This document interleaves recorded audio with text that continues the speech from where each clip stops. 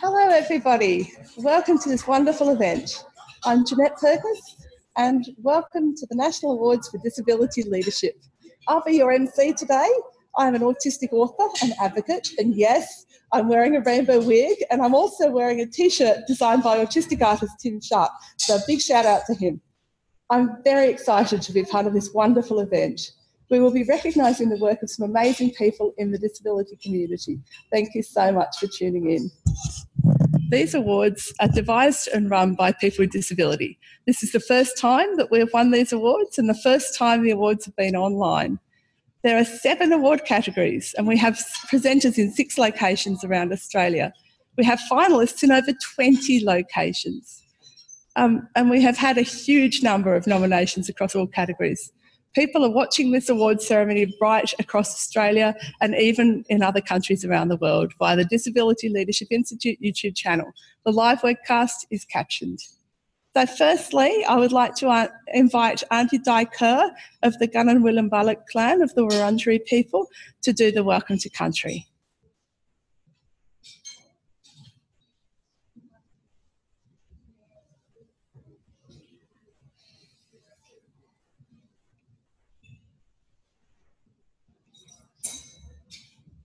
I honour my ancestors and my elders, and I pay homage to this sacred ground that we're on. I wish to acknowledge any Aboriginal and Torres Strait Islander peoples here, elders, elders of different nations. I acknowledge all of you and I pay my respects to your ancestors, elders, and families. It's a privilege to be here, to be a part of your journey today, and this area here is part of the traditional country of my grandmother, mother, and family. And I always feel very honoured to be able to do welcomes on their behalf. I came an elder approximately 27 years ago upon the passing of my mother, and I've taken her role and um, enjoy it, and I take my role very seriously. My family lived along the Birrarung, the Yarra River, for hundreds of years before they were moved to a place called Coranderrk Station, which is a mission in Healesville in the Dandenongs, and that's where my grandmother was born. So the MCG is our traditional ceremonial area. The confluence of the Merri Creek and the Birrarung are initiation grounds. The ground between the Children's Hospital and the zoo it's the meeting place of the Kulin nations, of which Wurundjeri is one of the five tribes. At, um, Federation Square is a smaller meeting place, and Government House is a camping ground between the Bunurong and the Wurundjeri. I'd also like to acknowledge all of the peoples and the First Nations peoples that are watching this from around Australia and um, you probably haven't got a clue about what I was talking about, but hopefully you can look it up and see what's on my country. And as a person with a disability, I sometimes find that people with disabilities are people that aren't seen. And every day I'm pushed aside and pushed in front of and not spoken to. And it's like we're um, invisible. And I often wonder why. And I don't know whether people are scared of people with people with disabilities or they just don't want to know. So I fight for recognition and I always fight for us to be equal. I think it's very important for all of us to be equal. It's important that we share our stories. You know, the city of Melbourne has 150 different cultures, and we're so lucky that we have that many. We're so lucky that we can sit here without fear of any harm. And we don't think of that in our daily lives. So please share your stories so that we can live in harmony. I firmly believe if we can live in harmony, we can eradicate racism and stigma. Then we pave the way for a better place for our children, our emerging leaders. So I offer you my hand in friendship so that we can all journey together. May Bunjil, my creator, surround you all and keep you safe on country. On behalf of my elders, I say Wominjeka, Wurundjeri Balak Yimangundibik, which means welcome to the traditional country of the Wurundjeri people. I hope that you have a good day. I hope that you share stories. Congratulations to the winners and please enjoy your journey of life. Nungajin. Thank you.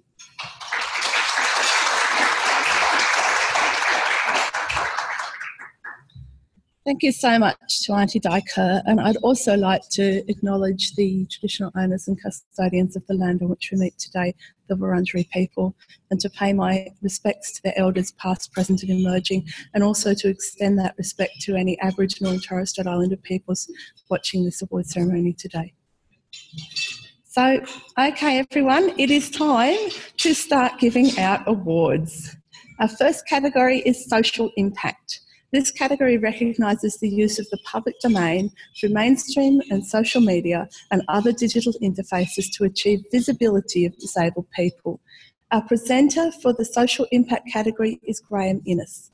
Graeme is a lawyer and company director serving on the board of a state insurance regulator, a major not for profit service provider, and an advisory committee to the NDIA. He chairs the Attitude Foundation and was Australia's Disability Discrimination Commissioner from 2005 to 2014. And I must say, Graeme himself has made a big social impact, so welcome, Graeme.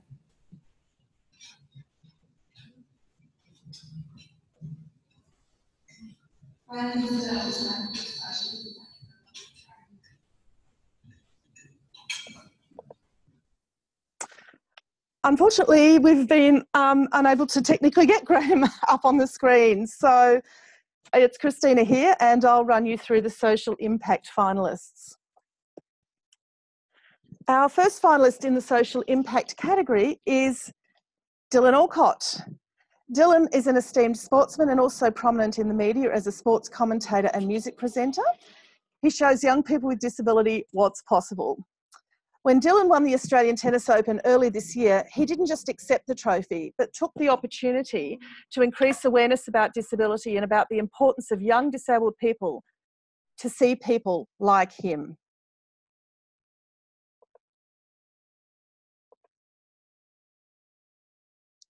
And I need to go share screen, share computer sound.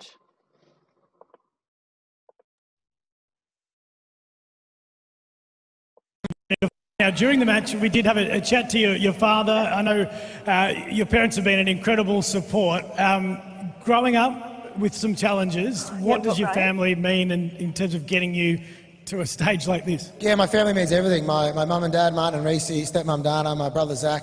You know, I used to get bullied as a kid. Uh, I struggled about the fact that I was in a wheelchair, but if you ask me right now, you know, if I could have an operation and stem cell research, whatever, there's not enough money in the world you could ever pay me because my disability has given me, you know, part of my opportunity in life, and I'm proud to be disabled, proud to be in a wheelchair.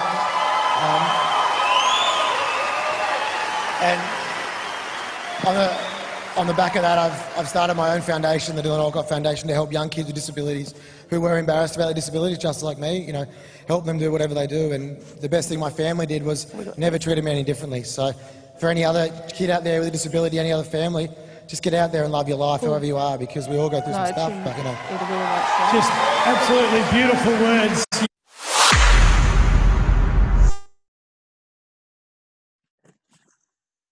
Our second finalist in the social impact category is Jessica Walton. Jessica is a picture book author who is published in the UK, US, and in Australia, and she's also been translated into nine other languages. Jess is a cancer survivor, amputee, queer, daughter of a trans parent, feminist, and teacher. As well as picture books, Jess writes about disability, LGBTIQ issues, and the intersections between her disabled and queer experiences. She is a sensitivity reader for manuscripts featuring amputee and queer characters and reviews published books with amputee characters. Jess uses social media, particularly Twitter, to talk about issues for disabled people to her over 5,000 followers and probably more now, leading discussions and regularly trending widely. Jess uses the public domain to raise awareness about disability, intersectionality, and parenting. Welcome, Jess. Our third finalist in the social impact category is Tim Ferguson. Tim has been a public advocate for people with disabilities since he announced his multiple sclerosis in 2010. He has made a series of podcast interviews with people with disabilities aiming to improve awareness and understanding of their conditions and to highlight their achievements and employability. Recently on ABC Radio National, he described disability employment as the next wave of social cohesion. Tim co wrote and starred in the live show and documentaries with the Doug Anthony All Stars, Tick Fucking Tock, highlighting the challenges of living with multiple sclerosis and the difficulties faced by carers of people with disabilities. As an international touring comedian, Tim uses humour and his high profile to bring understanding about disability.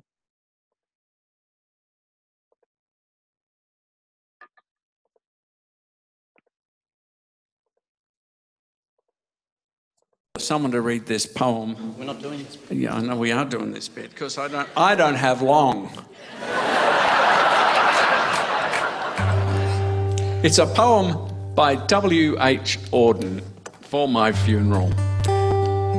Stop all the clocks. Cut off the telephone. Prevent the dog from barking with a juicy bone. Silence the piano and with muffled drum Bring out the coffin, let the mourners come.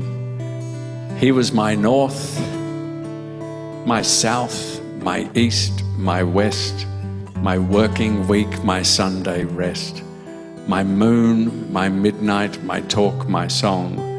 I thought that love would last forever. I was wrong. Let all the sandwiches be dipped in kerosene.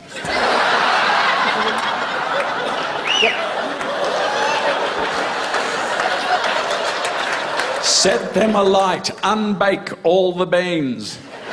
Burn down the parliament, then run as fast as you can. And someone sent a letter of apology to the people of Japan because they're our friends now. the stars are not wanted now, though they were a good idea. But pack up the moon and dismantle IKEA. Let those pricks put it back together again with an Allen key.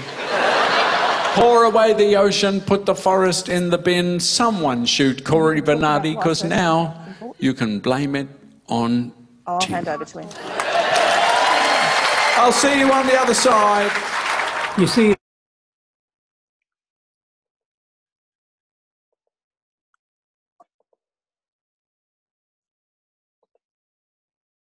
Oh, I can hear you, Christina. Okay, and we've found Graeme Innes, everybody. So I'm going to hand over to Graeme, and Graeme is going to initially explain to us why social impact is an important category for people with disabilities, and then he will announce our finalist. Prior to that, I will let you know that Dylan is playing a tennis tournament in Florida right now, and we've been talking all week, and he's very excited about the awards. And Tim is performing at the National Museum of Australia this afternoon, and we've also been talking all week, and he's also excited about the awards. Over to you, Graeme. Well, thanks, Christina, and uh, sorry about the glitch earlier, but uh, we have managed to solve it. Um, the Social Impact Award is critical because it's about communicating with the broader Australian community. We, as people with disabilities, should be part of that community, but we cannot be included with the current negative and limiting views of people with disabilities held by that community. To be included, community attitudes have to change, and changing those attitudes is exactly what these uh, finalists and many others are doing. And obviously, I won't reintroduce you to the finalists uh, because that's happened. But what I will say is that the recipient of the 2018 Social Impact Award is Jessica Walton. Congratulations, Jessica.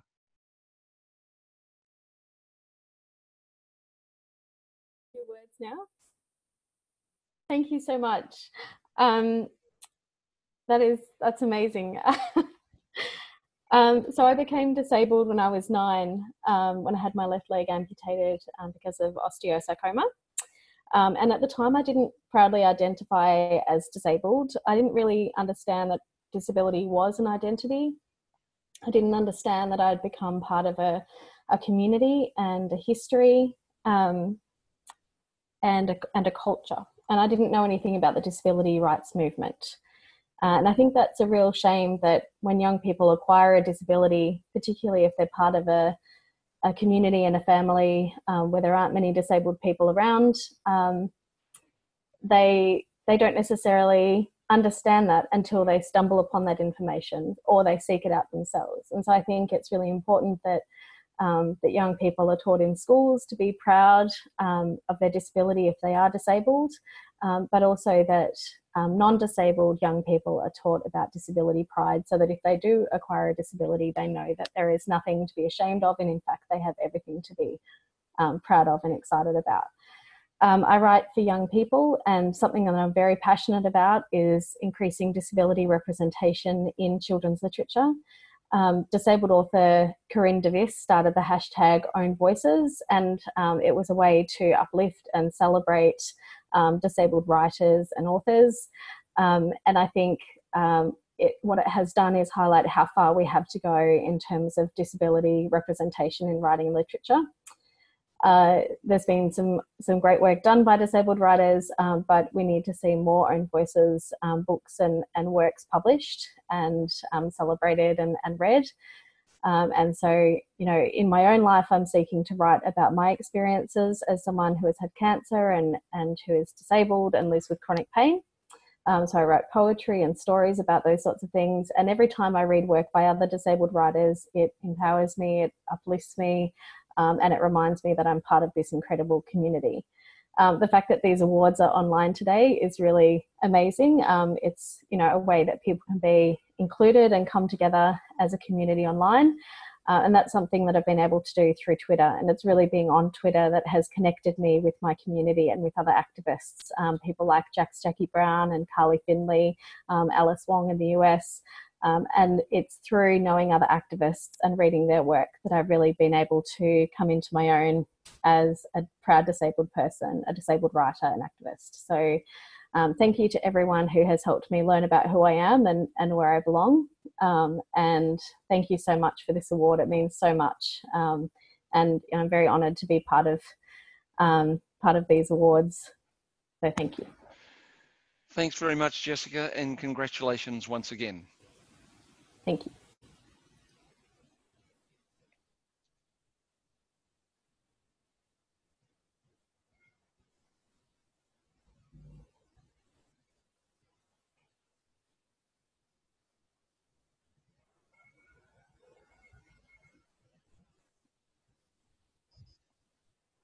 I've got no audio now, but I think I'm finished.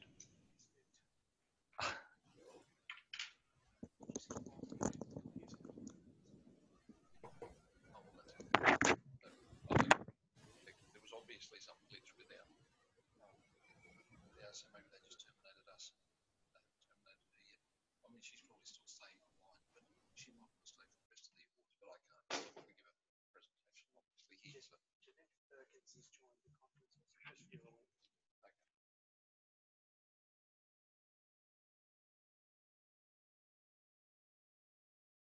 For her wonderful work.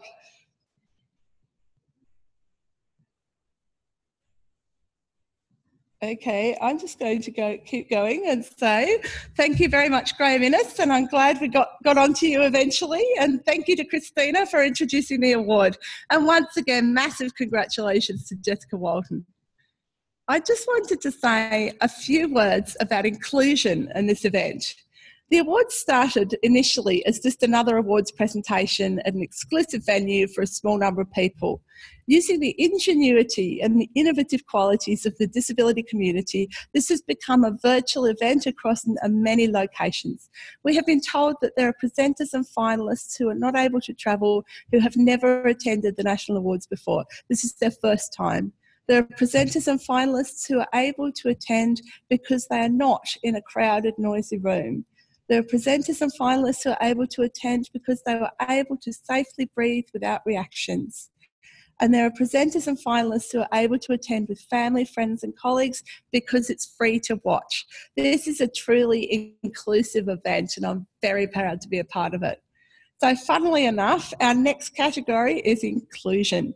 This category recognises people who have designed processes, systems, or programs which illustrate the diversity of disabled people. Oh, sorry, I've lost my uh, document there. Oh dear. And um, yes, so it's a great award around inclusion, and I've just got full screen on, which I don't need. Sorry about that, everyone. Here we go. You shouldn't talk about technology, but our presenter for the inclusion category is Damian Griffis. Damian is the CEO of the First People's Disability Network, which is part of Disabled People Organisations Australia, or DPOA. And the First People's Disability Network does some amazing work. So let's welcome Damian. Hello, good afternoon, everyone. Um, welcome, speaking to you from Gadigal country, the land of the people of the Gadigal, uh, Gadigal people of the Eora Nation, and thanks, Aunt, for her welcome to country earlier. Um, as the CEO of the First Peoples Disability Network, it's a great honour to be given this opportunity to present the Inclusion Award. Obviously, as an organisation that uh, speaks to the issues of intersectionality, we're very, very happy to be here today. So, thank you very much. The 2018 inclusion finalists are the LGBTIQ Inclusion Project within the Sexual Lives and Respectful Relationships program at Deakin University. It was tasked with increasing the inclusion and representation of LGBTIQ people with disability within the SL and RR program, a rights based program by and for people with intellectual disability operating across New South Wales and Victoria. LGBTIQ people with intellectual disability were recruited and worked to write stories from their lives with a focus on sexuality and relationships. The stories were then used in the existing SL and RR program format, piloted with a group of 10 sexually and gender diverse people with intellectual disability in Melbourne. An independent evaluation of the program by the University of Melbourne reported that the program produced quality and directions of the discussions, which covered a remarkably broad spectrum of issues, not only about respectful relationships and sexual lives, but into the broader domain of human rights, the nature of grief, issues of stigmatisation, and institutional abuse. The SL and RR program now includes additional stories from LGBTIQ people with intellectual disability. Other outcomes have included several participants who are now training to be SLNR peer educators. This has increased the diversity and capacity of the program to reflect the intersectional nature of people's lives and identities. Our second nomination for the 2018 Inclusion Award goes to someone who uh, I'm perhaps going to be biased here, but I have to say I had no part in his nomination or the judging of this award, but my cousin Scott Avery. Um, uh, Scott's work is breaking new ground, and we're very proud of what he's achieved at FPDN, and we're looking forward to him doing more and more of this critical work for us over many years. So Scott Avery has been nominated on behalf of Culture is Inclusion. Is the research Scott is the research and policy director of First Peoples Disability Network, and Scott is currently a PhD candidate at the University Technology Sydney. Scott recently authored a groundbreaking book called Culture is Inclusion, a narrative of Aboriginal and Torres Strait Islander people with disability, which presented the outcomes of community directed research centered on the concept of yarning. He collected the personal testimony and statistical data on the experiences of Indigenous people with disability in Australia, revealed a world of social inequality and injustices that most other Australians have little knowledge about. A key point of the research in the book is that despite appalling disadvantage, Indigenous people with disability continue to challenge their experiences by embracing traditional culture of an inclusive society. Upon hearing he was a finalist, Scott said, As humbling as it is to receive this personal recognition, the true heroes behind our work in promoting inclusion are the Aboriginal and Torres Strait Islander people with disability who gave us their permission to share their stories. With this in mind, I respectfully ask whether the organising panel might consider assigning the nomination to Culture is Inclusion, our book which embodies their stories in recognition that our promotion of inclusion is a product of an entire community.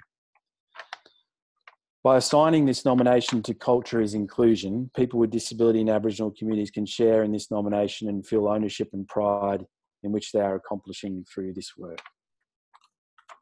So it gives me great pleasure to announce the recipient, recipient of the 2018 Inclusion Award is the SLNR LGBTIQ project. Congratulations. And uh, I'm calling on Linda Stokey to say a few words. Hello, everyone. Uh, I hope you can hear me. Uh, I'm not Linda Stoko, I wish I was. Um, my name is Amy O'Shea, and I'm, I'm, here representing Linda, who's unable to make it at the last minute.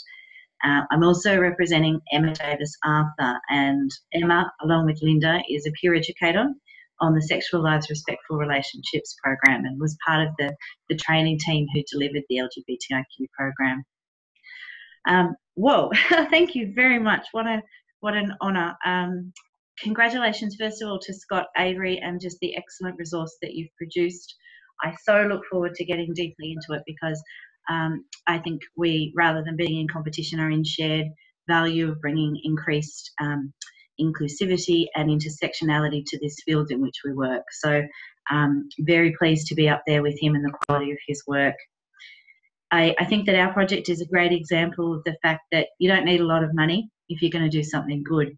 What you need is great people, and we had those. Um, in particular, we had those with the peer educators we worked alongside, but also the financial support we received from GALFA, the Gay and Lesbian Foundation of Australia, and our partnership with Inclusion Melbourne and the Rainbow Rights Self Advocacy Group.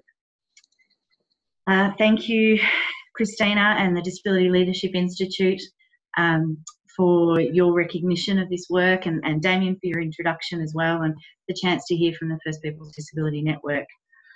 Um, like Auntie Di said, we're no longer going to be invisible, we're no longer going to be pushed aside because the queers are here we, as an organisation at Sexual Lives and Respectful Relationships at Deakin, we are committed to seeing more and more LGBTIQ inclusion in this disability space, particularly for people by, with intellectual disability.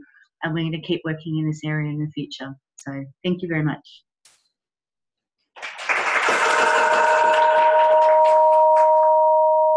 Great. Thank you. Back down to Melbourne, I think. Cheers.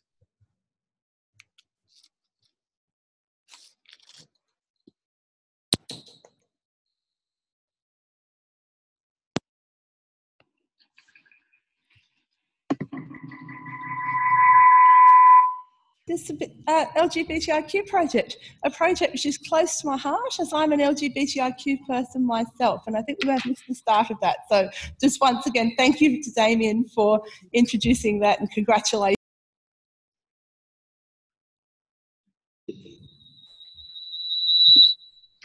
Oh my God!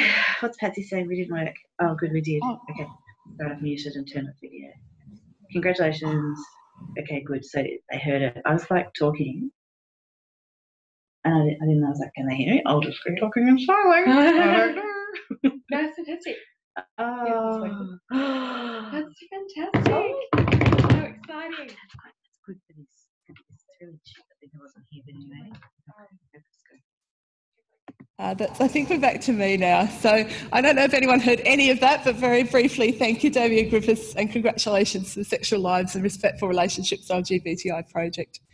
Um, so now I think we've got one of our arts finalists videos.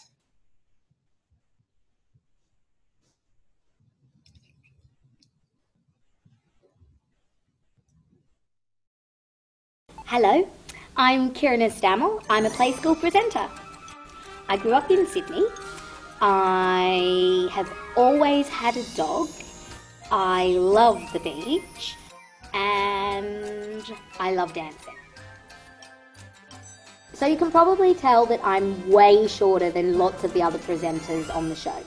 And that's because I've got a type of dwarfism, which means I just didn't grow very tall. So if you were going to talk about it, I like you to say Kiruna is a person of short stature or Kiruna is a person with dwarfism. Um, but really, what would be awesome is just if you learnt to say my name, Kiruna. I loved play school when I was a kid. I watched it all the time, and I'd always get up and dance and sing and talk to the TV screen, and it was one of the most cool things to be a part of. And now I'm actually doing it in real life. It's so awesome. I don't think I have a favourite play school toy because I sometimes find I get worried the other toys will get a bit jealous, you know. So I think I like all of the toys equally. I feel like I have won a really cool prize to be on Play School, and also it feels really fun because you get to play, and all of the co hosts are really fun, lovely people. So I come to work and I get to have a really good time. See you on Play School!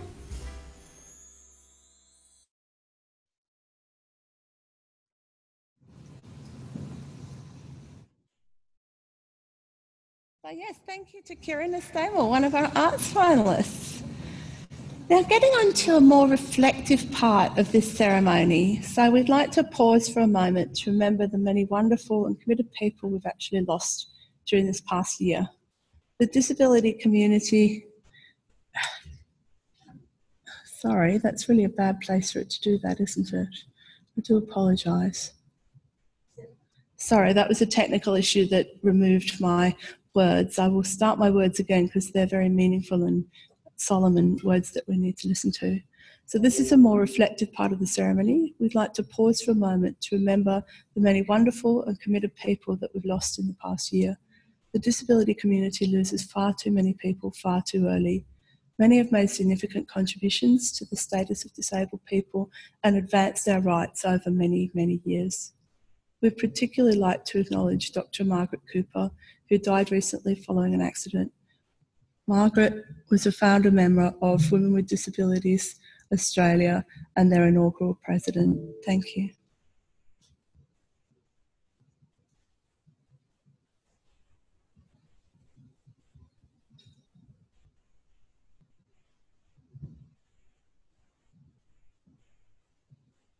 And there's actually a video on its way. There we go.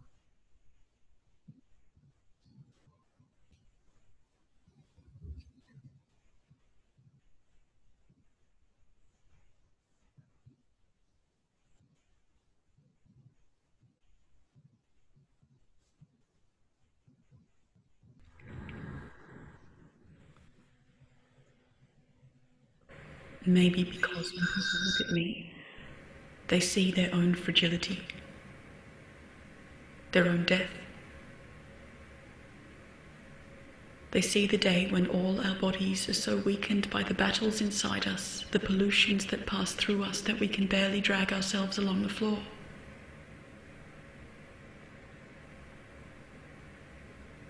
Or maybe he imagines, were he in my position, he would be so embarrassed that he would need to hide.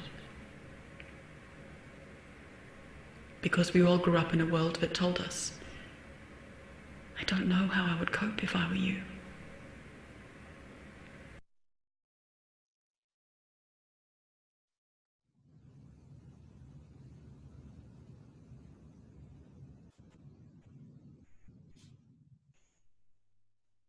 I am here to be seen in all our fierceness and fragility.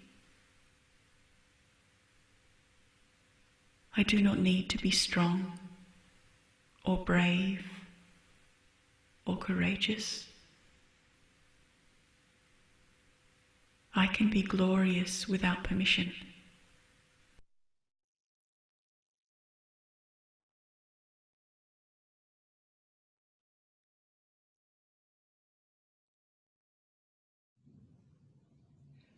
Hannah, Cormack, who's a finalist in the arts category. Our next category is innovation. This category recognises being innovative outside the box, developing new systems, technology, or tools to achieve outcomes in the status of disabled people. Our presenter for this innovation category is Christina Ryan, who we saw before. Christina is the CEO of the Disability Leadership Institute and has an extensive background in community sector management and governance. She has also represented Australia at the United Nations, focusing on the rights of women with disabilities. Christina lives in Canberra, where I do too. So, welcome, Christina. Thanks so much, Jeanette, and uh, thanks um, indeed for a sterling job so far. Um, we're doing our bit here behind the scenes. Innovation's a category in this award, um, and it's a really important thing for the disability community. A study published in the Harvard Business Review last December showed that people with disabilities are 10% more innovative in the workplace than their colleagues.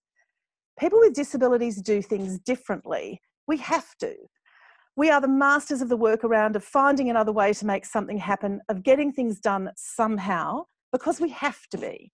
We are familiar with operating in environments that are inherently hostile and aren't made to suit us. And this gives us strong lateral thinking and problem solving abilities that should be the envy of everybody. The innovation category recognises this extraordinary talent for getting things done somehow. Our innovation finalists are Donna Purcell, Donna works at the Commonwealth Bank of Australia and sits on several boards. Donna regularly presents at diversity and inclusion events, sharing her industry knowledge and experience and using her own lived experience as a person with disability to share through storytelling to open people's minds and demonstrate what is possible. She established the Commonwealth Bank Disability Employee Network, Enable, has led the development and implementation of CBA's Accessibility and Inclusion Plan, and advocates for policy and practic practical change. Donna is not afraid of speaking up and challenging people when the Commonwealth Bank doesn't get it right. Donna proactively identifies areas for improvement and works to build accessibility into standard policy and practice. She is proud to have a disability and openly shares her lived experience, challenges, and successes to motivate others. Donna's colleagues say she genuinely inspires us all to do better and to think differently. Congratulations, Donna. Eva Sifis has launched successfully a three part training program as well as a comprehensive web page to assist people who have experience of brain injury. This inclusive training program has been tailor made for people with cognitive disabilities, their family support people, and for people who work in this field. By Accident is a new and innovative approach that collaboratively supports the outcomes of everybody involved. Using her own experience of acquired brain injury, skills in performance arts, and her passion, Eva's leadership in empowering people in their own transformation is inspirational. It fills a void in supports available for people living with cognitive difficulties, their families, and informal supports, while strengthening understanding, communication, and pathways forward. Congratulations, Eva. The Client Voice Project Group, made up of David Cook, Nathan Clark, Jessica Parson, Emma Simpson, Tony Sheedy, Thomas Norwood, and Eva Sifis, who you've just met, with their experience of varying levels of trauma or disability following road accidents, a passionate and dedicated team of clients are helping transform the services provided by the Victorian Accident Transport Accident Commission, the TAC. For most of the year, eight clients have worked together with TAC staff to co design and develop the Client Voice Framework. Their commitment and creativity will raise the voice of clients embedded into the TAC's work and be a model for the broader community. The project team has used design tools to think outside the box and at a level exceeding their experience to pioneer the direction of the future for all TAC clients. And they have tackled complex issues such as payment, prioritisation of future work at the TAC, and making it relevant to the community. All clients that commenced in the group attended every month from February to November and committed to additional tasks as required by the project. For example, pre session work, attending leadership meetings, and reviewing documents. Several clients participated in additional pilot based activities that contributed to the depth and richness of the learnings from the project, presenting various stages of the project progress to the TAC executive team and forming part of a TAC recruitment panel. Congratulations, Client Voice Project team. Jade Strongman is passionate about building more inclusive communities and society for all. As part of a uniting local area coordination initiative for leadership and project stakeholders, Jade has attended training to learn about applying human centred design into customer service delivery, an approach to assist organisations to understand more about their customers' journey and experiences. Jade creatively identifies solutions and has applied the skills and tools he gained attending the human centred design training to develop and lead a series of workshops across the five uniting local area coordination districts designed to help NDIS participants to self manage their NDIS funding.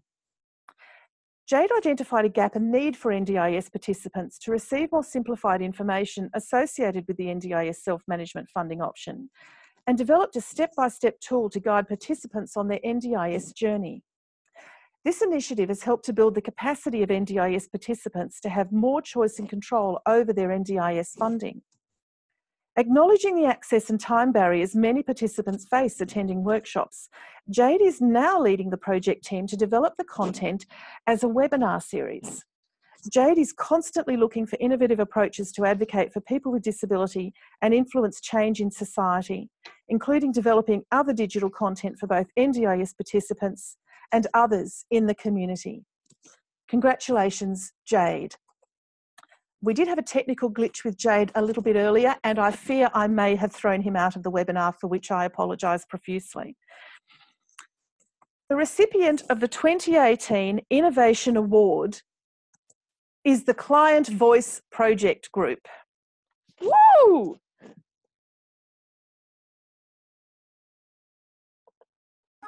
Congratulations to the TAC client group.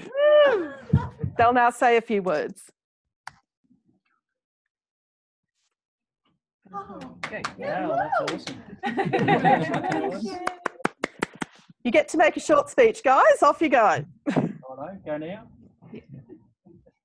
Oh, that's amazing! Can't believe it. Uh, to be um, to be even nominated is a huge privilege, uh, and amazing nominations all around and award winners so far.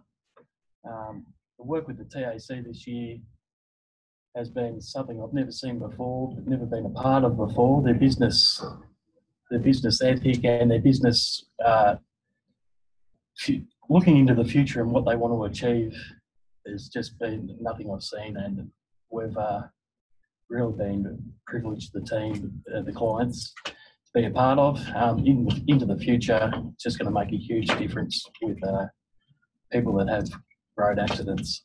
Um, I'd also like to thank the uh, the rest of the TAC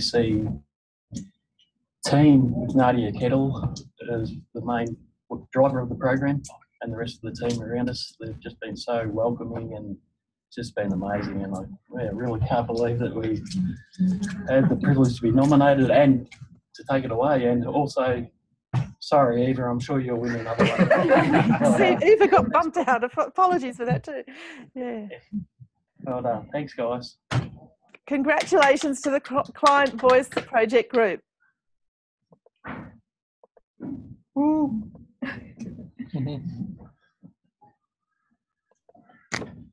Back to you, Jeanette. Thank you.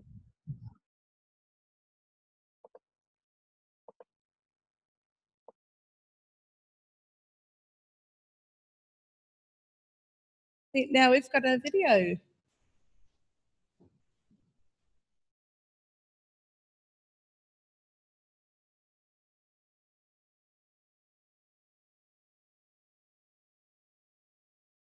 Finalists in the art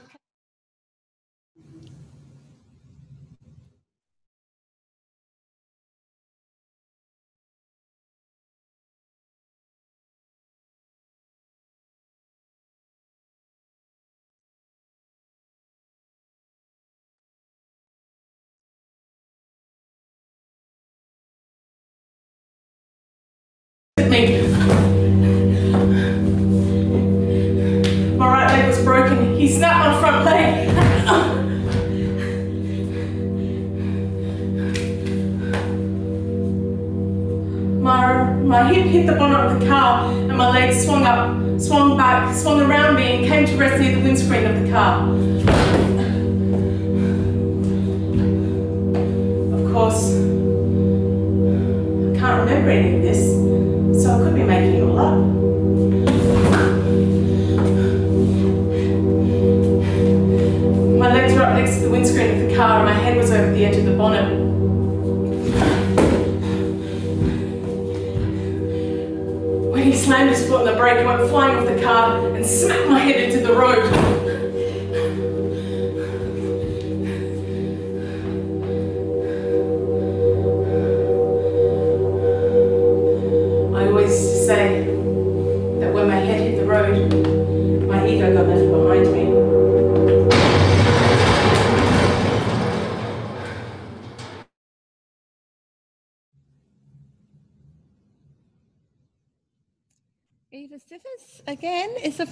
In the arts category, so thank you for that video. Our next category is change making. This category recognizing achieve, recognises achieving lasting change to the status quo, such as through policy programs and legislation, which results in greater equality for disabled people. This is a very important area. Our presenter for the change making category is Frank Hall Bentick. Frank has a lifelong disability and, through his outstanding efforts, has contributed to improving human rights for people with a disability. He has worked closely with the United Nations in Bangkok as resource person and invited expert and has been an active member of the International Disability Caucus and the International Disability Alliance CRPD Forum. Welcome, Frank.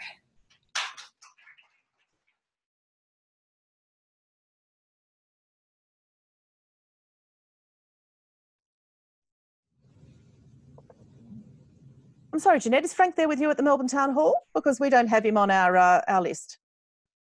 I have to get the, the AV people to come along and do that. Um, so, do we think we should have another category while that's happening? Can, can he come and use your microphone? Thank you.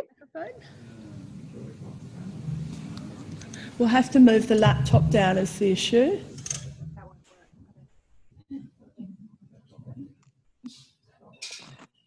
He hasn't logged into the webinar. We don't have his laptop inside the webinar, so he'll need to come and use your um, laptop. Thank um, you. I'd, I'd have to talk to the AV people because I don't know with all the connections. Sorry, everyone. We're just getting this one sorted. There's just a matter of connections, but hopefully we'll be um, sorted very, very soon. Apologise for this one. The AV guy is just turning up now. Sincere apologies. It will be fixed shortly. I'll Thank move, you I'll move to another video. Just a moment. Oh, thank you. Yeah, can they go through? We need to do visuals as well, though. Yeah. It's just it's connected to stuff, and I don't know what that box. I don't know what all that is. That's all right. Mm, Okay. And I decided to do that because I've never really done it. So I ended up working with um, this amazing performer with an African background, grew up in the UK, now lives in Sweden and works with, oh, something, I can't remember the name of her theatre company, but um, it's mainly with deaf performers. And she got us to do, she'd written this poem that was a very sort of powerful poem, and we were working in Swedish, French, Mexican, an American Sign Language, sort of like a sign language choir. So there's about sort of 20 of us on that poem, and we each got a different part of the poem. So I learnt to do this. Check this. This is the Swedish Swedish sign for lightning. Goes like this, like that. I thought that was great. Anyway, so we get to, and s sort of about being sailors lost at sea and the storms coming. And storm in Swedish sign language was this thing that was like this, and it got really big and la la. And it was just fabulous to work Yeah. with this group of people doing stuff I had no idea really, and having to like get it really quickly so we could all perform. That was totally top. tops. Good. And um,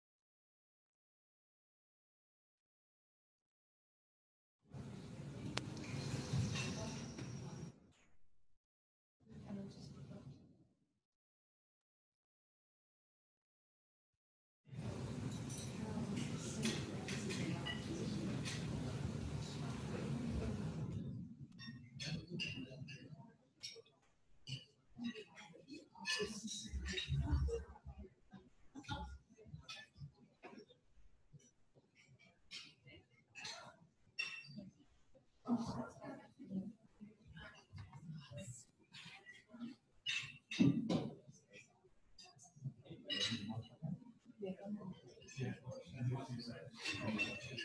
we're actually on.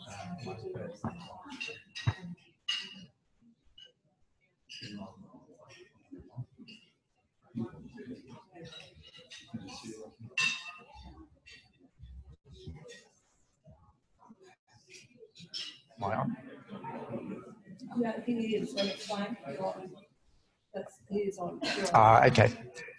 Uh, good afternoon, everybody. Um, uh, apologies for the slight delay. Um, this change making category is very important, particularly in uh, challenging the status quo and uh, getting a better result for people with disabilities to uh, be integrated into society. Change making finalists are Amanda Lawrie Jones. Amanda has worked in local government uh, for the Victorian State Government and the National Australia Bank in inclusion and diversity, as well as having her own diversity, uh, disability inclusion consultancy business. Amanda's passion and commitment is to create action for access to enable her customers to progress their access and inclusion journey by developing strategies, policies, and processes to include people with disabilities from a customer, community, and employee perspective. Amanda's work values the, and promotes the social model of disability and supports organisations to improve outcomes and increase participation of people with disabilities. Amanda and her team of facilitators are all people with disabilities. And uh, in order to influence the authenticity and effective and affect meaningful change. Amanda is passionate about embedding policies and processes within the organisation uh, that enable an inclusive environment for employees, customers, and community members with disabilities. The next uh, social change finalist is Christine Smith. Christine is the owner of the Great Ocean Stays, an accommodation business in Ocean Grove. Victoria.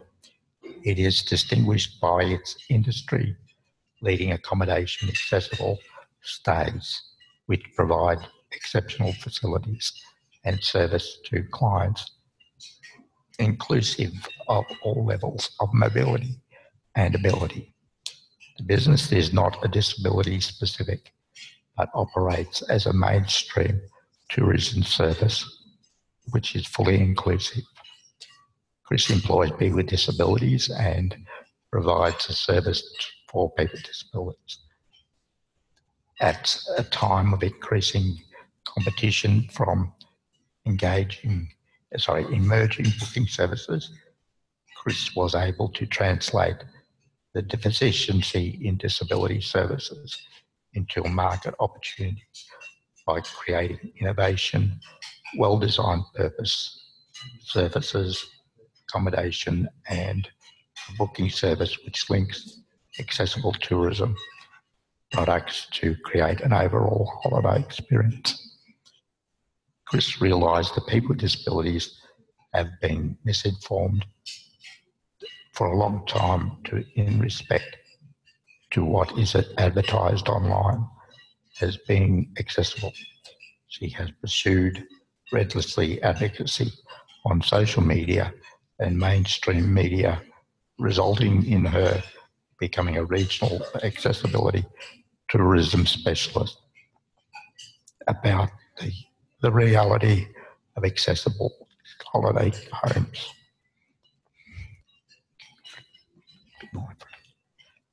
The next uh, finalist is Anthony Mulholland. Anthony is a leader and advocate making sure people with intellectual disability are heard and included He is Aboriginal man with an intellectual disability and an NDIS participant who lives independently in Western Sydney. Anthony is passionate about inclusion, rights,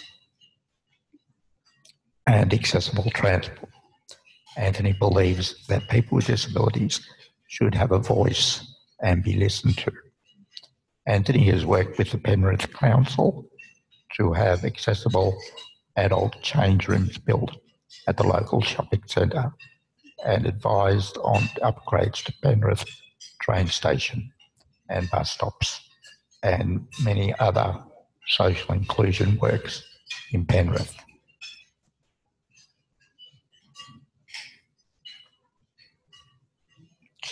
Anthony continues to be, uh, Anthony consulted on major infrastructure works which have led to significant improvements to accessibility across the New South Wales Transport Network.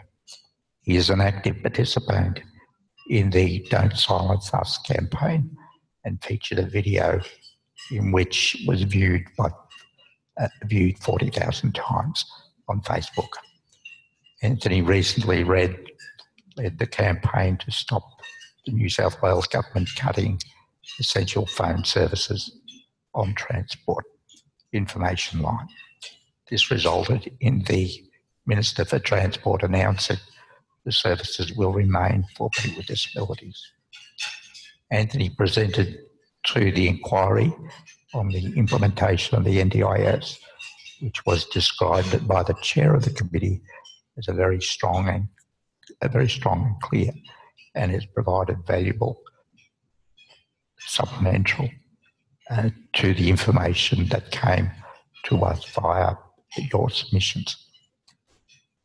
By telling his story and sharing his ideas, Anthony is helping others in, with intellectual disability speak up, access support, and live good lives.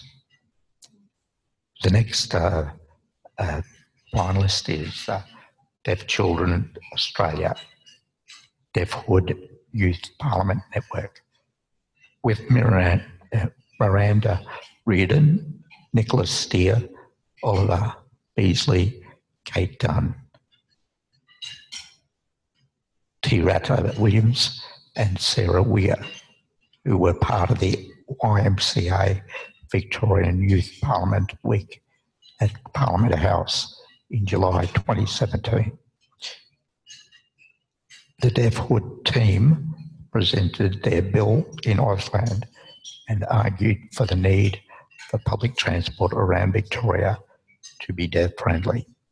The aim of the bill was to uh, make change around public transport uh, more, more deaf friendly and visible. Also arguing for this visual captioning on buses and trams to become oh, for upcoming stops. The bill passed and was approved in Parliament House. The team went on to build a good relationship with their Public Transport Commissioner. Uh, were invited to meet the Commission and have been involved in several changes to make public transport more accessible in Victoria. The Deafhood team has helped achieve greater accessibility and equality for public transport. Having a deaf team participating in the Youth Parliament also highlighted the importance of accessibility and inclusion in Parliament. And I'm very proud to uh, um, announce the recipient of the 2018 Changemaking Award is Anthony Mulholland. Congratulations, Anthony.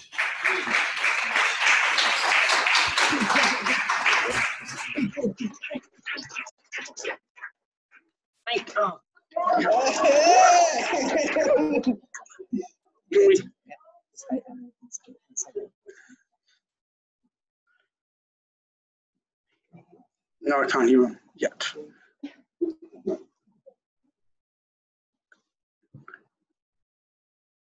I can barely hear her. Can't hear her at all. Would you like to say a few words, Anthony? You get to make a speech now. Um, thank you so much for the other finalists. What a wonderful honour. It is all my mine is about including people with disability in their everyday lives. I feel the change has been a change making has been a very difficult one because it's not easy changing lives for people with disability. But the wonderful changes I've seen with the community attitude, attitude of government, and attitude of other people to make changes have been wonderful. And the under, other participants have done wonderful changes in their lives to make people with disability feel more inclusive with the changes. I know it's not easy changing attitude, but we can try our best we can. And I'm very proud of the changes I've made.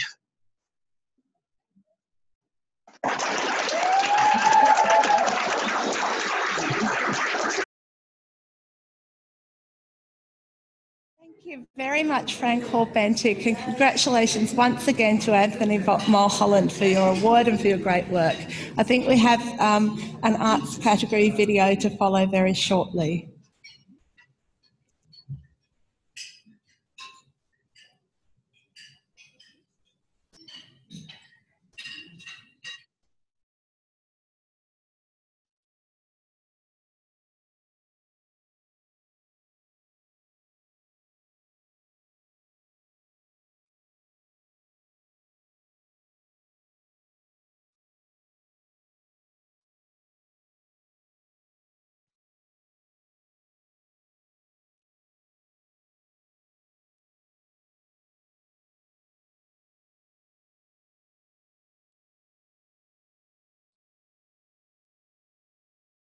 A video, but we have something almost as good or probably as good, which is the award for our next category, which is the arts. So this category recognises using artistic expression to advance the status of disabled people. And I've been a practicing artist myself for many years and have a great respect for what can be gained through creative practice. Our presenter for the arts category is Margherita Coppolino. Margaret is the current president of the National Ethnic Disability Alliance, or NEDA, the previous chair of Arts Access of Victoria, and the Australian Federa- Federation of Disability Organisations. So, welcome, Margherita.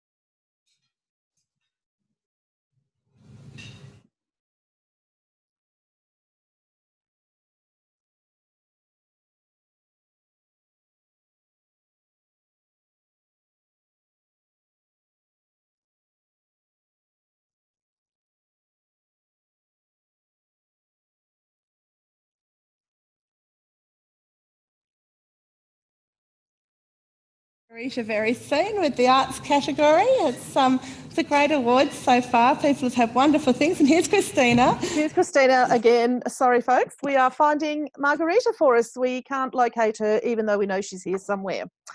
So um, we have a number of arts finalists, and this is a rather exciting category. Um, okay, we've located Margherita, so we'll just bump her up if you'll bear with me for a moment.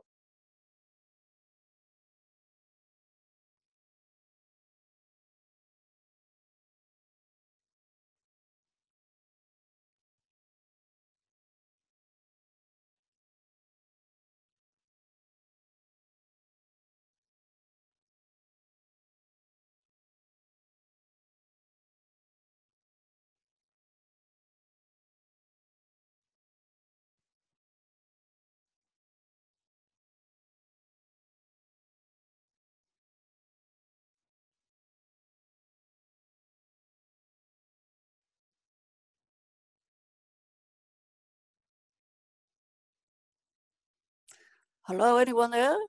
Are you there?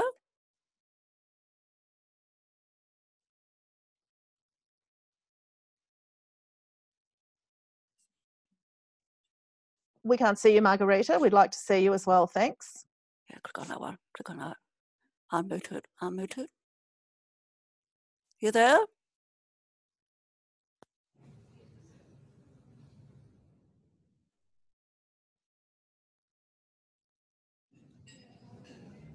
Are you there, Christina? We can't see you, Margherita, so I'm just going to keep going until we can actually see you. Okay, can we ask Claire to start the, the camera on her video, please? Okay. So we have a number of finalists in the arts category while we just wait for Claire to get her camera up and running.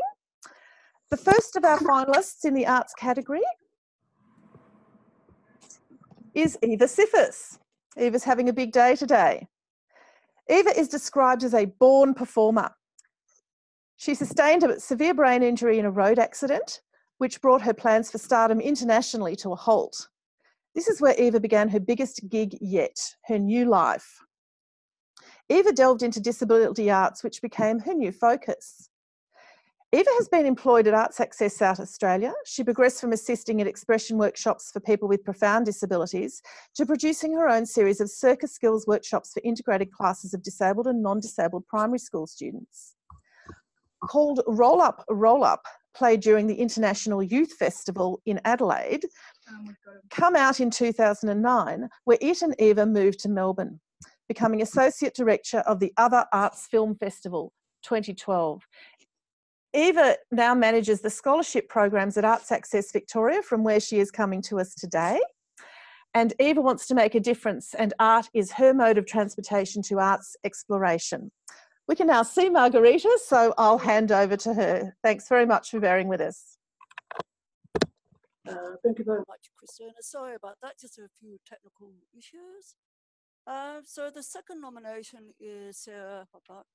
Is a leader in the Australian arts uh, movement, innovating and creating world-renowned art work that challenges and questions the world. Sarah is a self-described freak show performer with deep understanding of what accessibility actually means.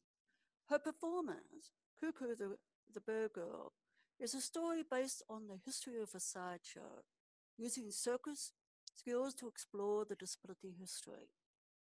She spoke about disability arts history at the Sydney Opera House, uh, the Festival of Dangerous Ideas in 2016.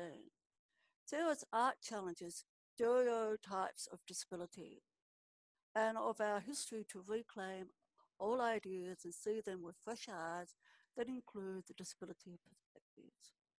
Sarah has an international career and is a role model for others.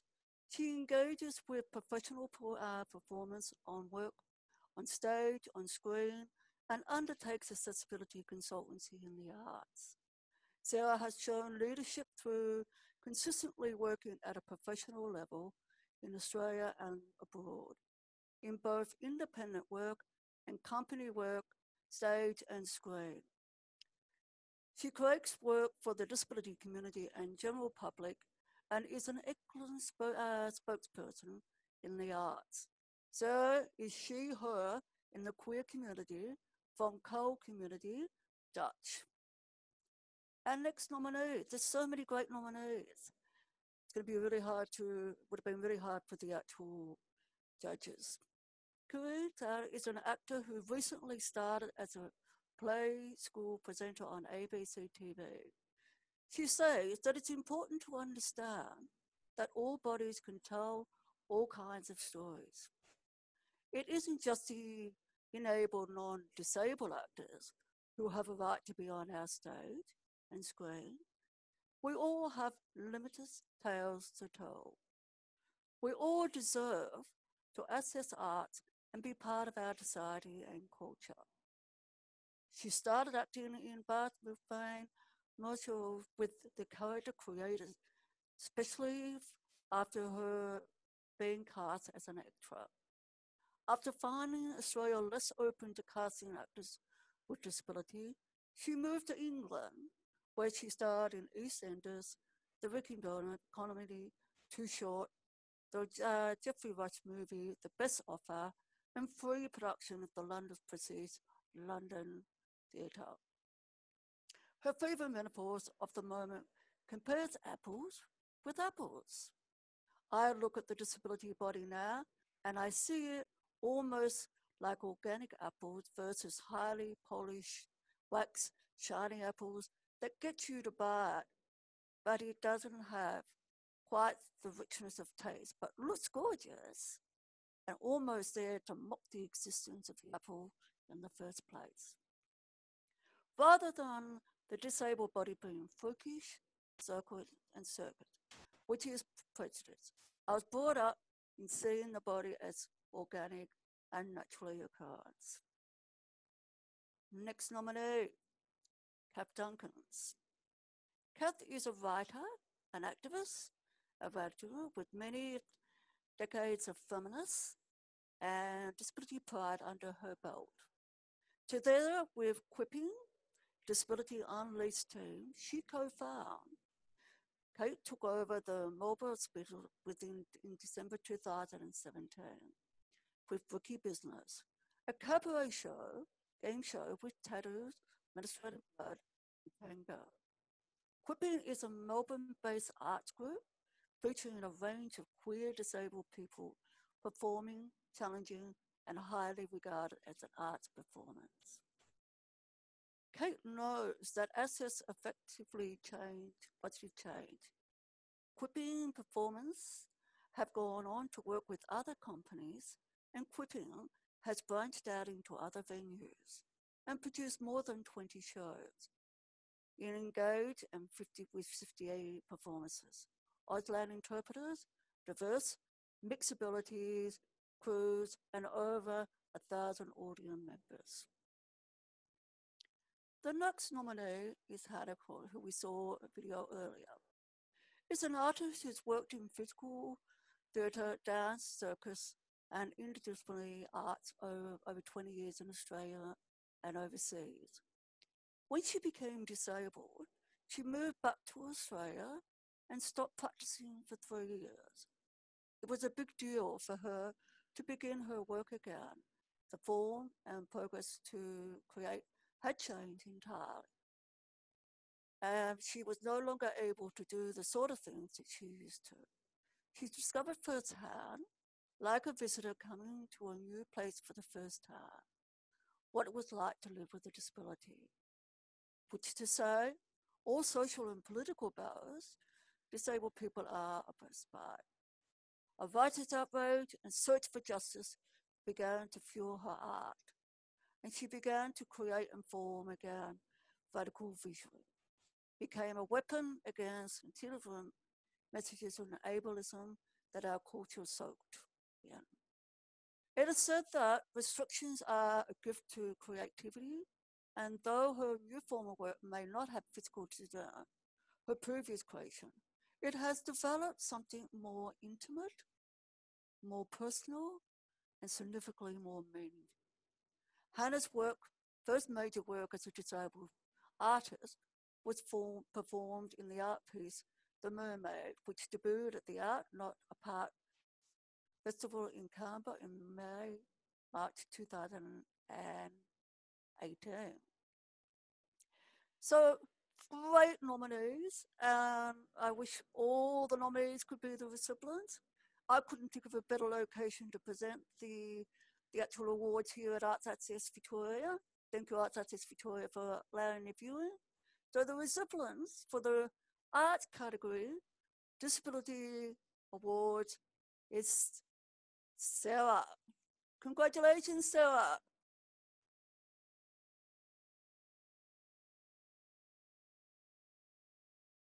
Thank you so much.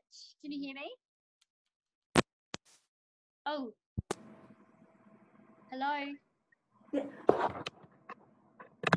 You there? Yeah, can you hear me?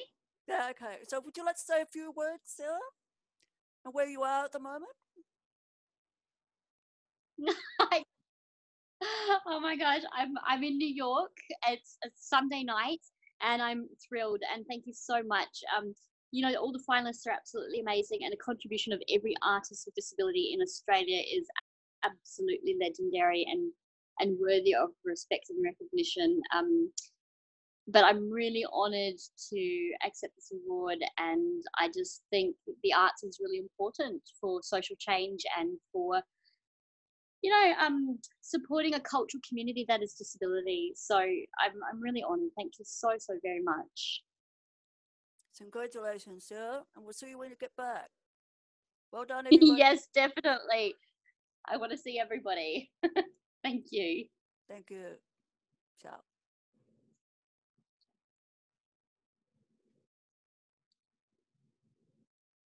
Margherita Coppolino, and congratulations to Sarah. Um, Sarah, wonderful artist. Well done. It's great. Lovely to see. So our next category is rights activism. This category recognises human, using human rights mechanisms, including implementing the Convention on the Rights of Persons with Disabilities to um, promote the rights of disabled people. than to marry this counter Paris man.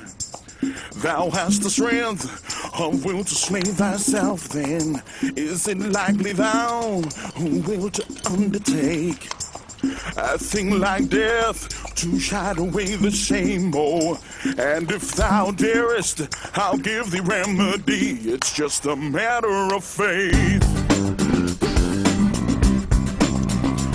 hold and go. Home now, Mary, give consent to marry Paris. Wednesday is tomorrow night. Take down this fire, this is still the liquor dream thou of. No warmth, no breath shall testify thy life. The roses in thy lips and cheeks shall fade away. To pale ashes, thy eyes, windows fall. Like that when he shuts up, shuts up the day of life. Each part deprived of supper government. It's just a matter of faith. It's just a matter of faith. It's just a matter of knowing that we've got the faith. It's just a matter of faith. It's just a matter of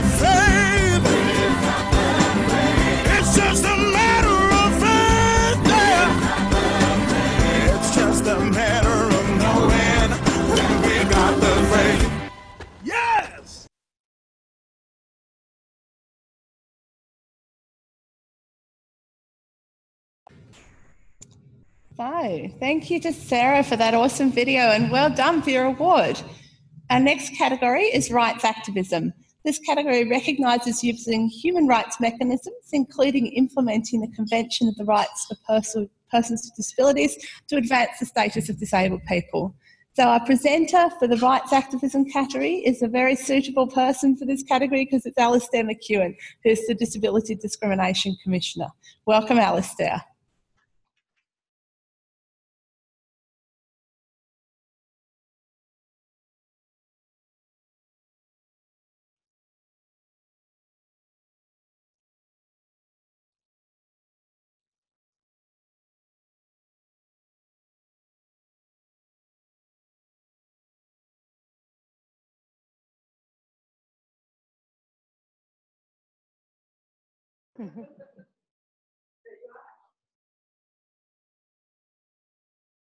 It's my great pleasure to present the award for the Rights Activism category.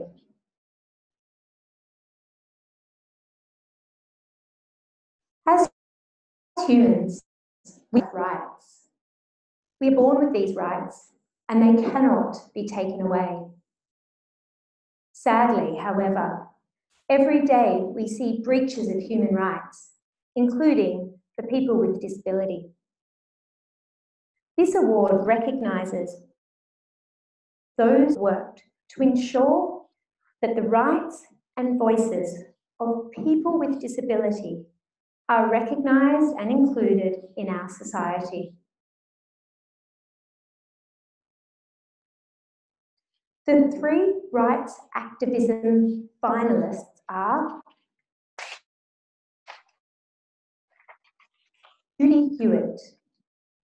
Judy Huett is a leading advocate for people with intellectual disability working from Tasmania.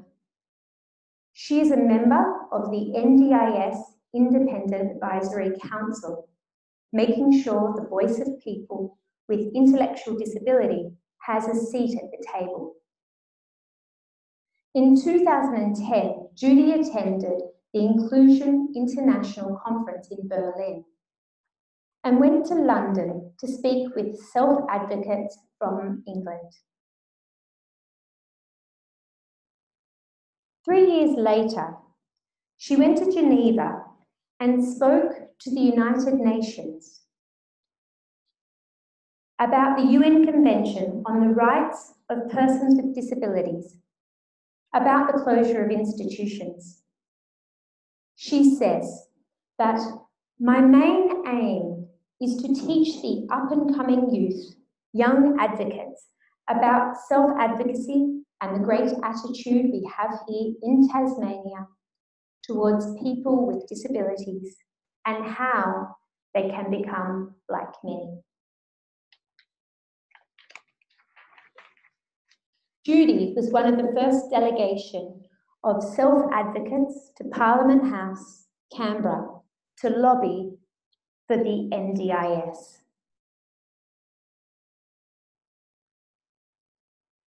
Our second finalist is Robert Strike.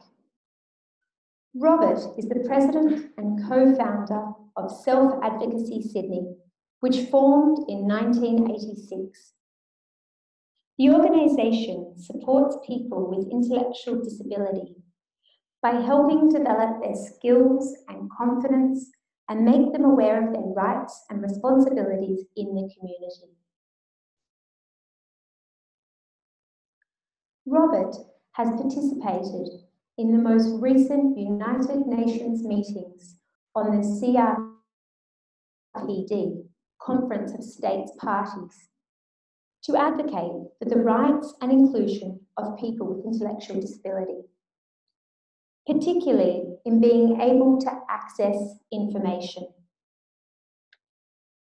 He has not only strongly argued for easy read material available at all UNCRPD meetings, he has turned UN agendas and key documents for these meetings into easy read. These documents were distributed by the UN to participants at the meeting so that people with intellectual disability could participate. Robert also organised the first forum led by people with intellectual disability on inclusion of people with intellectual disability and did this with other prominent self-advocates from all around the world.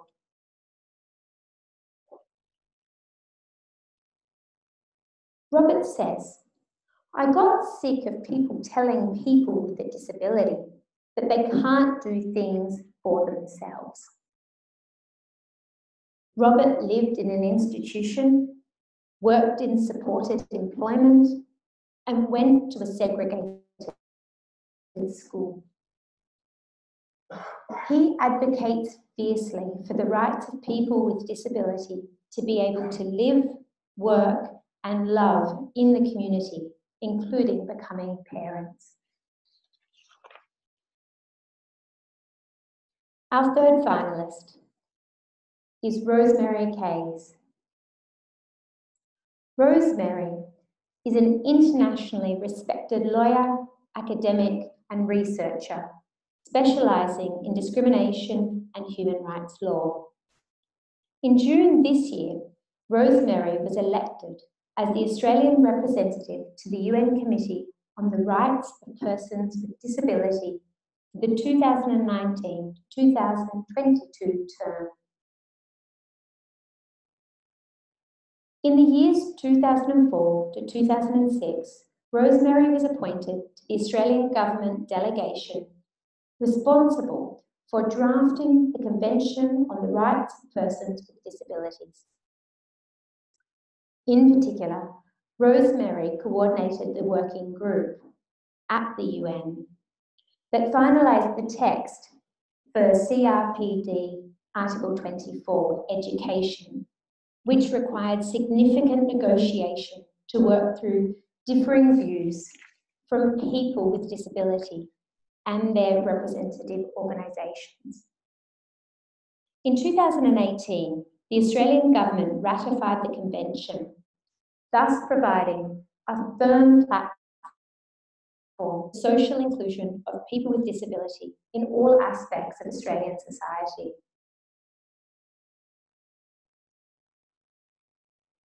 Rosemary has mentored and supported people with disability, particularly young people, and emerging art leaders with disability to engage in international human, human rights mechanisms, including assisting in leading delegations of people with disability to the Conference of States Parties to the CRPD,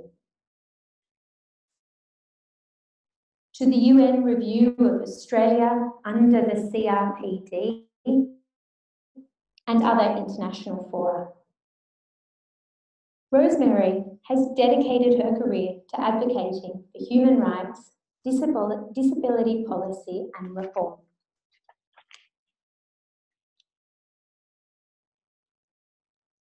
And the recipient of the 2018 Rights Activism Award is Rosemary Kayess. Congratulations, Rosemary.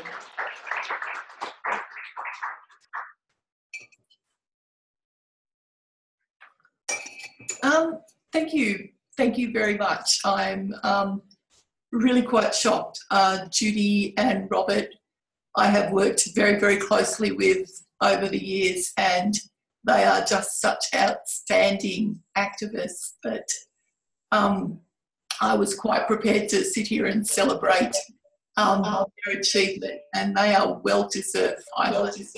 Um, very well deserved finalists, and I um, truly appreciate the award. I appreciate the inclusivity of uh, this particular event. I um, I am a bit taken back, but the one thing I would like to say that everybody that's out there, all the work that you do makes my work a lot easier. Um, I'm actually really quite lucky that I get to be the person that looks at all your hard work and try and translate it into meaningful stuff at the international level. But without what you guys do on the ground, all that fabulous activism, all that wonderful advocacy, I have nothing to work with. So, really, um, thank you for all that you do, and thank you for Disability Leadership for uh, the award. I award. I truly appreciate it.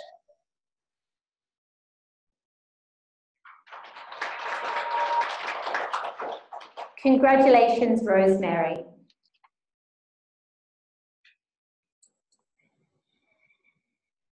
Congratulations, Rosemary.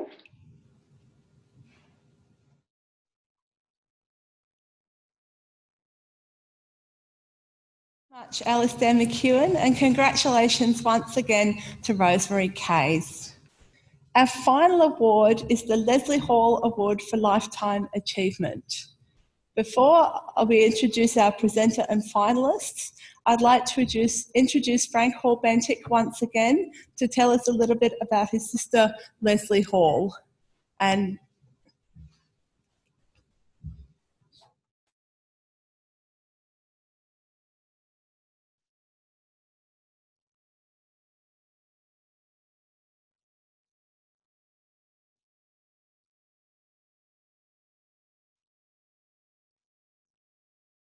some wonderful help from all sorts of good people.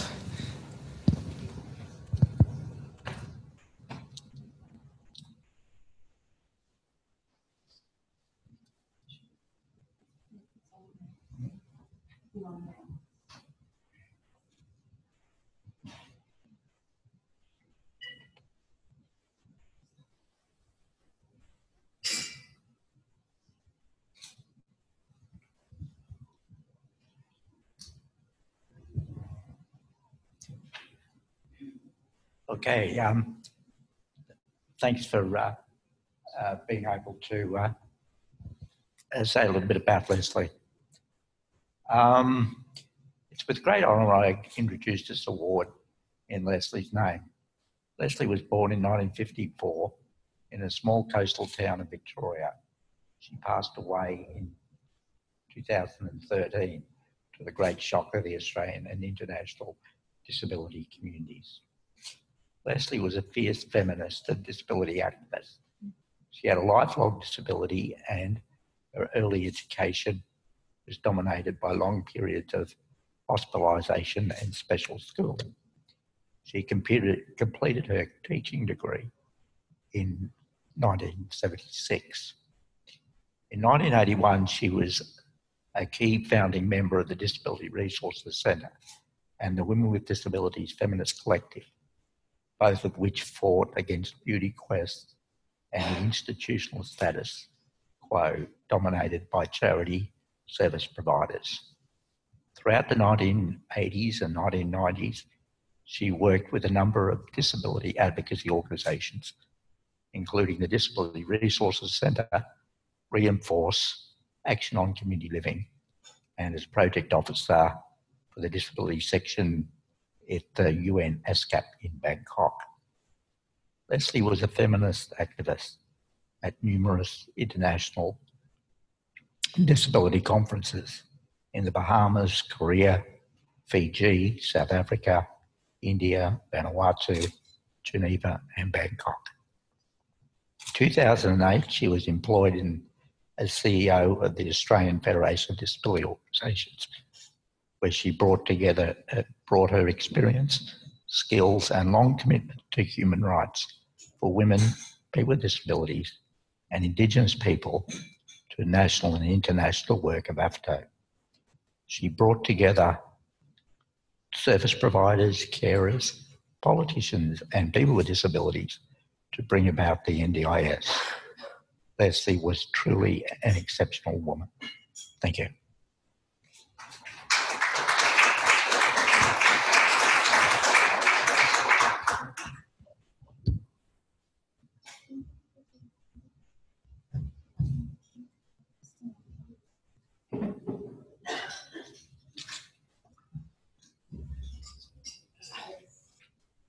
Okay, thank you so much, Frank. I'll just get set up again here. There we go, bright green earbuds, very important.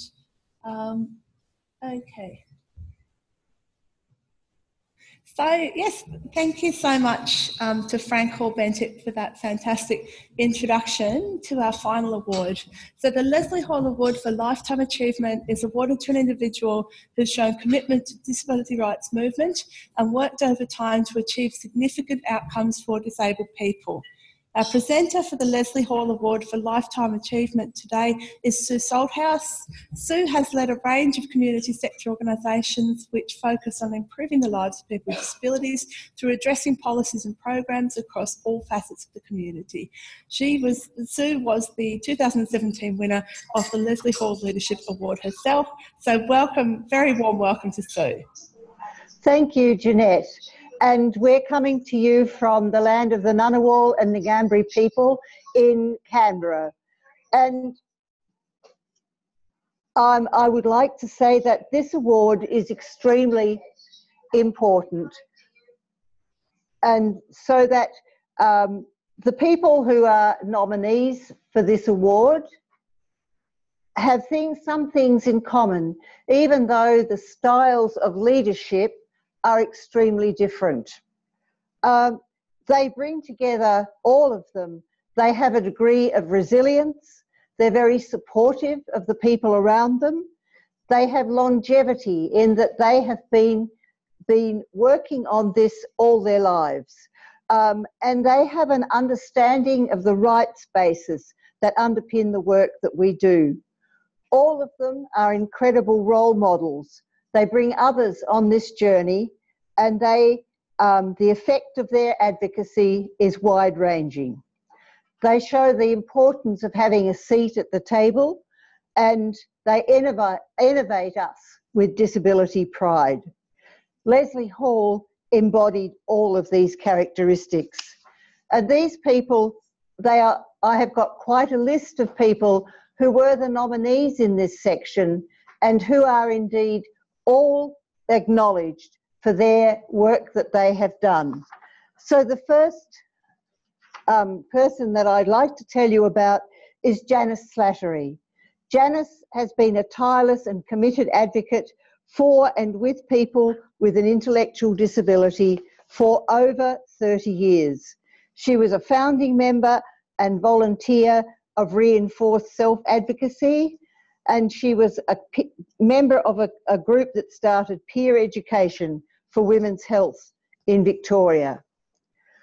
Auntie Gayle Rankine is a um, woman born in, the, in Raukkan on Lake Alexandrina in South Australia.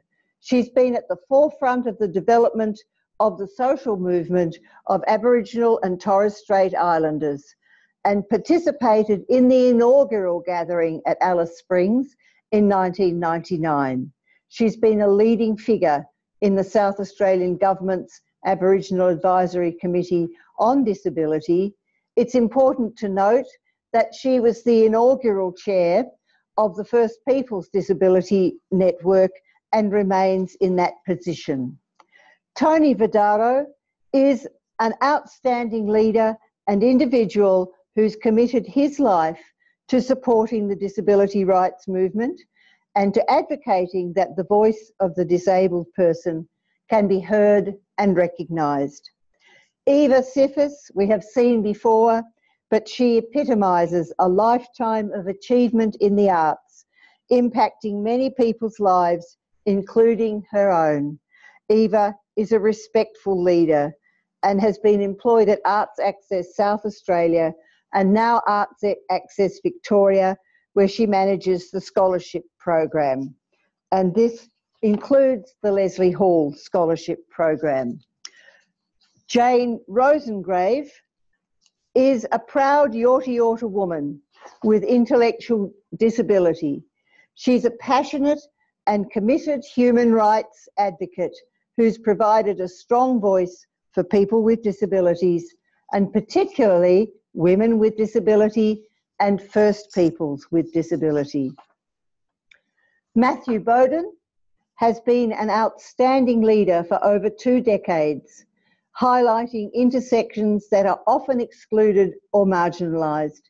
His work with people with disability in prison, in institutions, LGBTIQ plus people with disability, has always been founded in integrity and a commitment to disability rights. Di McGowan has worked for over 20 years to advance the standing of women with disabilities in Australia. Di started in advocacy volunteering for the women's, with the Women's Network within Disabled Peoples International, which is now WIDA, and then worked for WIDA while the office was in Canberra. Di's been a part of WIDACT since 1995, and she uses her lived experience to advocate for the NDIS, health and well-being, workplace inclusion, and very much more. So with that incredible lineup of people who have worked in the disability sector for a long, long time, it gives me great pleasure to announce the winner as Janice Slattery. My sincere congratulations to Janice as an incredible leader.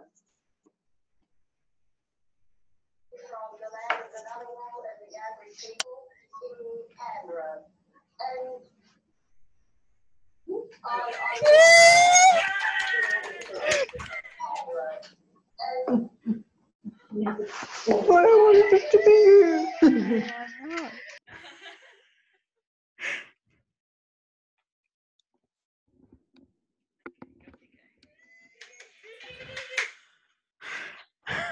Um,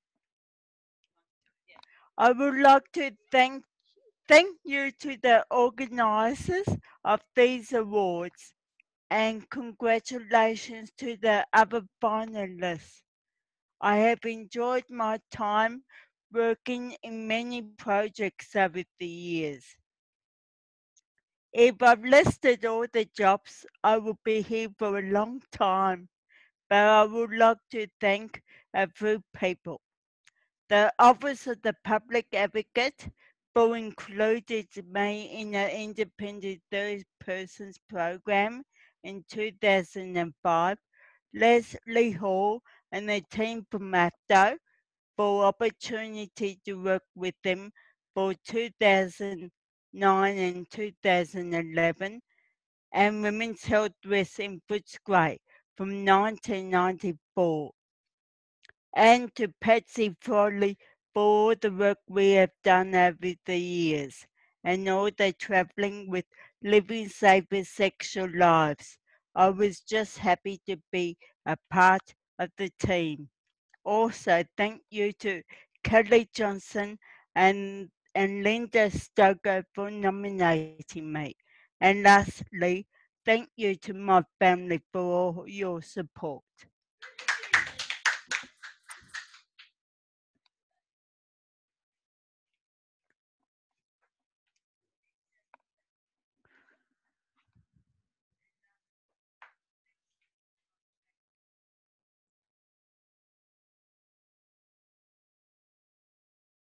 Thank you very much to Sue Salthouse for introducing that award and huge congratulations once again to Janice Slattery.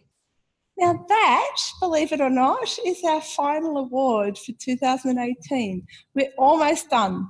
Thank you to everyone involved, to everyone involved in organising this event, making it fantastic as it has been, and finally, just to recognise the amazing recipients of those awards once more. Jessica Walton, the Sexual Lives and, um, sorry, I just went full screen. I'll try again. There we go. Apologies. The technology has not been my friend today, but I think we've worked with it and I think it's been good.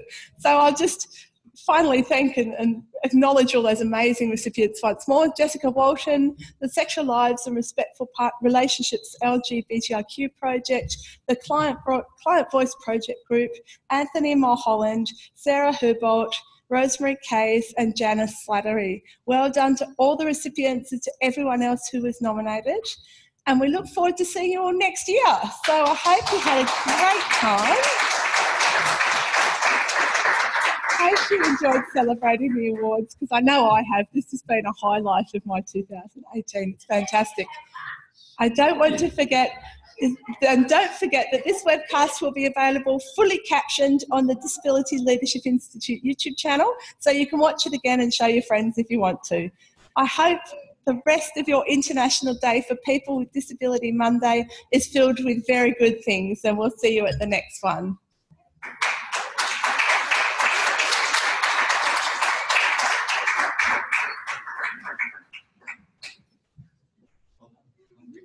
好。